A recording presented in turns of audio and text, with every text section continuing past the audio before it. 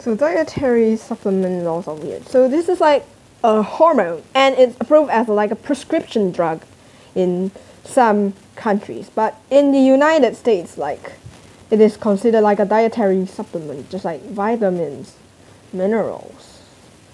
You know these things. They are like, according to the United States Food and Drug Administration website, they are like regulated more like foods and not like pharmaceutical drugs.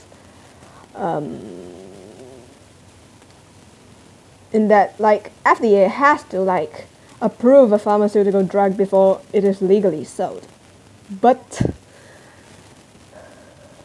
FDA like can only like ban a dietary supplement or maybe an ingredient in them after it has shown like potential of harm.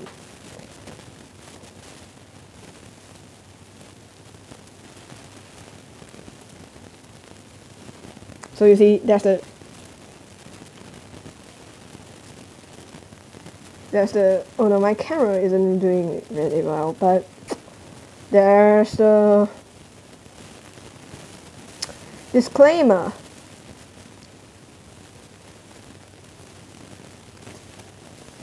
But it's really, really weird.